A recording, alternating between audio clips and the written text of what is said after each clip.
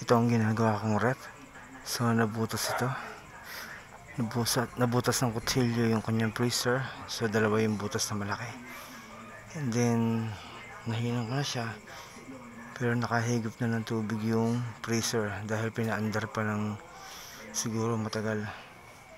So yun. Kaya may tubig yung kanyang freezer.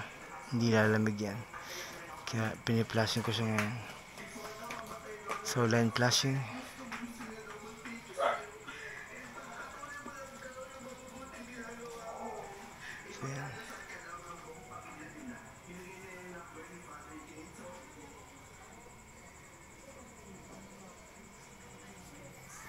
So kitang kita Merong oil yung kanyang ah, evaporator and then may kasama na rin tubig yan.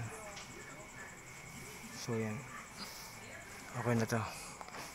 After ko i-flashing yan, so vacuum and then uh, free and charging. Okay na yan.